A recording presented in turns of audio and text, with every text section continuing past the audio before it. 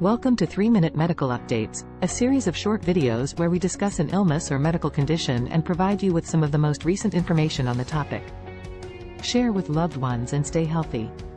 In this video we will explore bowel cancer, a condition that affects millions worldwide. Stay tuned to learn more about this disease and how you can take proactive steps for prevention.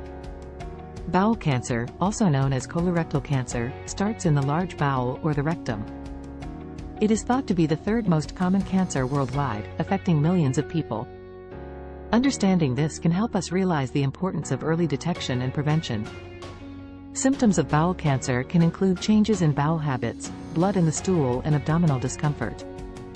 Being aware of these symptoms can lead to early detection, which significantly improves treatment outcomes. Risk factors for bowel cancer include age, family history, certain genetic syndromes, diet and certain types of inflammatory bowel disease.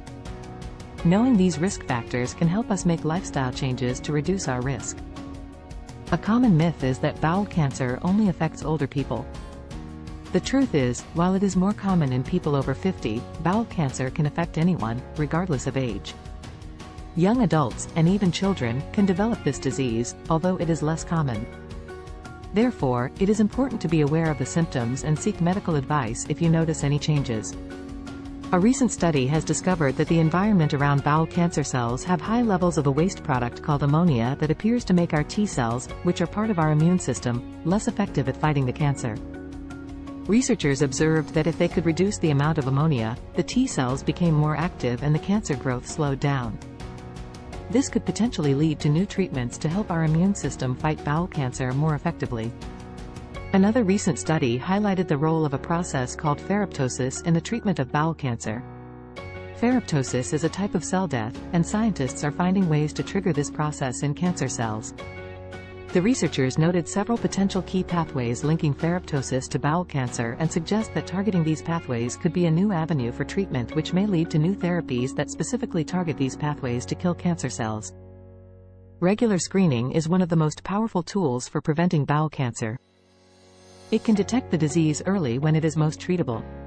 Please do not hesitate undertaking a straightforward screening test regularly.